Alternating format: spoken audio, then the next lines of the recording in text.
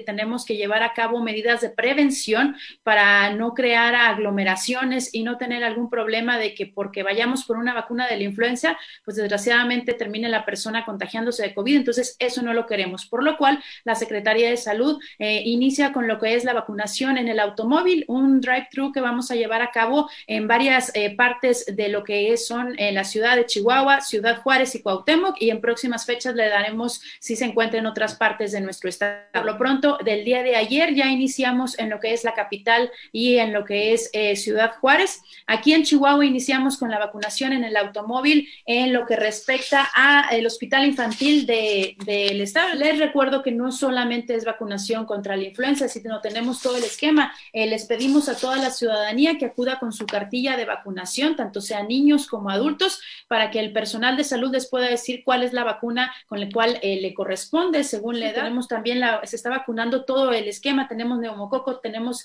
la hexavalente, rotavirus, influenza, sarampión, hepatitis B, influenza para adultos, así como lo que es la influenza y también tenemos por lo que respecta a mujeres embarazadas, también la TDPA y con eh, la vacunación contra la influenza. En Ciudad Cuauhtémoc lo vamos a hacer sábado y domingo de 10 de la mañana a 16 horas en la poli, en la poli en la polideportiva es donde se va a estar llevando a cabo eh, la vacunación en Ciudad Cuauhtémoc.